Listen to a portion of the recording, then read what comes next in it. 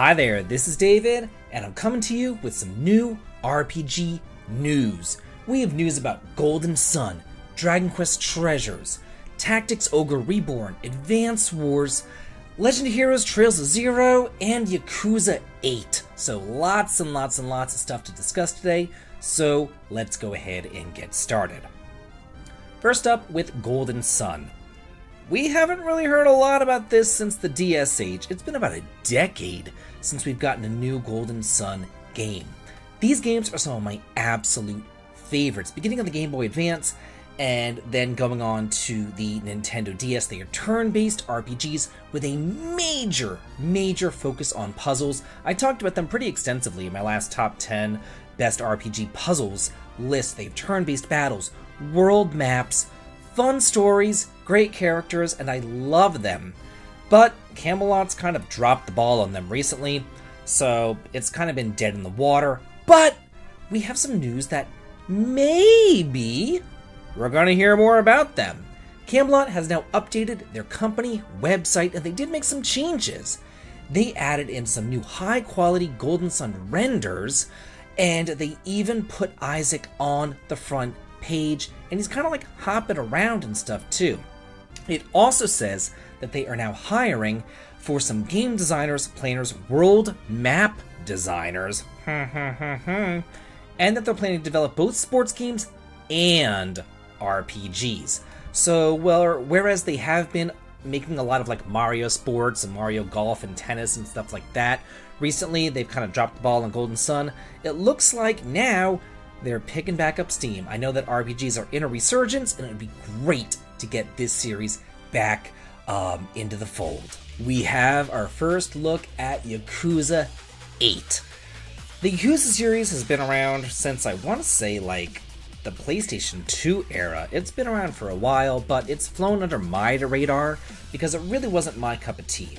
It was more of a sandboxy, beat 'em up sort of game, open world, that sort of thing. It wasn't really JRPG, but that all changed with Yakuza Like a Dragon or Yakuza 7. So much so that the developers even went out and said, hey, you know, even though this started out as like an April Fool's joke, and it really did, Like a Dragon was so well received that all of the Yakuza games going forward are going to be in the turn based format. So we have our first look at Yakuza 8, and honestly, there's not really much to look at here, but I thought that I'd bring it up because, hey, I like the game. It's pretty much just kind of proof of concept, proof that it does exist. An MMA fighter named Mikuru Asakura posted a YouTube video of himself touring Sega's studio and he shared some behind the scenes shots of the game because he is going to be in it. He was filmed for like some fighting scenes or whatever in the game. This video, it's rather long, 17 minutes. It's all in Japanese, but there are some screenshots as you can see um, of the game, and there's some more down here. So Ichiban is going to be in it. It says that he has his hair tied back and Namba and Adachi are going to be in the game as well. We don't know if they're going to be main characters or if they're just going to be making cameos. Um, that much we don't know. We don't really know anything else about it except for just these little scant screenshots. It also says that it will feature a brand new town. So, um, so we are going to get to explore a whole new Japanese city. So, yeah, this is pretty exciting. I loved like a Dragon, and I cannot wait for Yakuza 8 as well. Next up, we have a rumor about Advance Wars 1 and 2 Reboot Camp. This was supposed to release quite some time ago, but it got delayed because of the war outbreak in Ukraine. So now we have a rumor saying that it's going to release in February 24th of 2023. So, again, this is a rumor. Again, do take it with a grain of salt. And that date also marks one year since the beginning of the invasion of Ukraine. So maybe they just delayed it for a year. Maybe it's somebody causing a rumor, but this rumor uh, had enough credence that RPG Fan itself did um, report on it. So I'm going to report on it here as well. Um, I loved the Advance Wars games back on the Game Boy Advance. So having them both together in the Switch collection would be just music to my ears. They are just fantastic. Turn based strategy RPG games in the same vein as something like Fire Emblem, except with, you know, tanks, essentially. It's like a more modern day kind of Fire Emblem sort of thing. Next thing to talk about Legend of Heroes Trails from Zero has a new gameplay trailer. Many of you who've been following my channel for quite a bit of time now already have seen this game, already know all about it, considering I did do a Let's Play of the PSP version whenever it was first translated into English unofficially. This release, right here on September 27th, is going to be the first official release of Trails of Zero of the Crossbell duology. So, for those of you kind of confused about the Trails series, let me just talk about that for just a minute. That first started with Trails in the Sky back on the PSP, that was released in English. Then we got um, second chapter, also released on the PSP, released in English. That I think that was like the final release for the PSP. That thing took a while to come out. Then later on, we got the third chapter, but I believe that that was only released on the PC. Then they skipped the Crossbell duology, which is Zero in Azure, which is what you're seeing right here, and they moved on to the Cold Steel series, which was released on the PS3 as well as PS4 and PC, Trails of Cold Steel 1 through 4. So these two games here, they're kind of the missing link in the Trails series, and now to finally get them in HD, in a quality English translation, hey, I am all about it.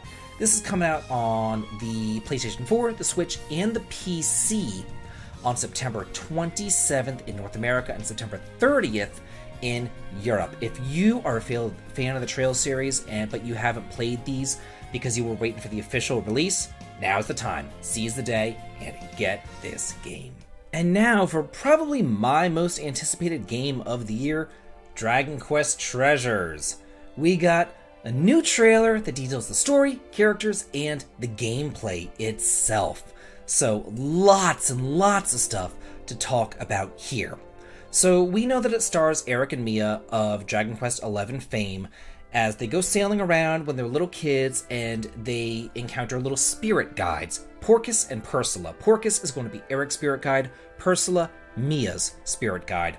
And they whisk them away to a mysterious land called Draconia a legendary land full of monsters and treasures just waiting to be discovered. You can actually choose to play as either one of them, it does not matter, and the events will unfold a little bit differently depending on who you choose. Your goal is to search for the seven mythical dragon stones, but Eric and Mia can't do it by themselves. They have to use their spirit guides to gather monsters and um, you know fight alongside them in a turn-based fashion. It looks fan freaking tastic. There are so many screenshots here. We have English screenshots, Japanese screenshots. It looks great. While you're out there fighting and gathering monsters and all that kind of stuff, you're also going to be getting treasures. Look at this world map. Look at the little islands. I love Dragon Quest. It's so cool. It says that it's made up of numerous islands, all of which have their own unique characteristics, and the monsters that inhabit each island are different as well. You can use your dragon daggers to communicate and cooperate with the monsters, and then use their abilities to find the various treasures and to make your way around the islands. Like here, we it has Mia using the Dracky to kind of float over the lava there. So that's pretty cool. Here's some pictures of the battles right there. Looks like they're using a um, a little Magidracky over there, um, a knight and a king ogre or orc, I believe, right there. Yeah, you can fight alongside them. You got Eric's over here riding a cyclops. So cool. I love it. So it says here you can use your fortune finder to look for the treasure, and then you just kind of head in the direction indicated by the arrow and um, you can trigger treasure visions to see the buried treasures through the monster's eyes. So it almost kind of reminds me of searching for treasure in Final Fantasy IX with like the chocographs a little bit. because uh, it looks like they have like kind of like these chocograph things up in the upper left hand corner, and you kind of have to find them. So that's kind of neat. It's a different twist on the Dragon Quest monsters genre right there. Here we have the villains. Um, they look very anime, just typical villains right there. Rivals, almost like a Pokemon sort of rival thing happening right there. You can appraise your treasures and get different values and stuff. This looks great. This is coming out on the Switch December 9th. And finally, the last thing on my list of things to talk about Tactics Ogre Reborn. Now we have a description, screenshots, release date, all sorts of stuff. This is a remastered version of the PSP release, which was a remake of the 1995 SNES and PlayStation release. So this game has been going on for quite a bit of time. The leak originated on a PlayStation Store. It says on a PlayStation Store price tracking website called PS Deals. So we know for a fact that it's going to come out on the PS5 and PS4, but it may also come out on the PC or other systems. We just don't know yet because it hasn't been officially renounced, uh, announced. So we have a lot of information about it. So let me just go ahead and read through a bunch of this stuff right here that we have. It says that it's a tactical role-playing game depicting the struggle for control of the Valerian Isles. Um, if you've played something like Final Fantasy Tactics, then you know how this game plays out. This is actually the precursor to Final Fantasy Tactics. This this game came first. But unlike Tactics, where you play through one story and you get to one ending, here your choices affect how the story unfolds and even how it ends. So there are multiple paths through the game with multiple endings. You can make your decisions and shift the course of Valeria's history. We have isometric viewpoint on three dimensional battlefields with a completely revamped AI, so the battle will always keep you thinking. And this, this to me is the clincher, the thing that's making me say, Hallelujah, I want this thing. In the PSP version of the game, they used a class wide leveling system, and it blew. Now, instead, they're going to be using a unit by unit leveling system. So you just level up your unit, you don't have to level up every single freaking class. So it makes it so much better. I cannot wait to play it through um, in this definitive way.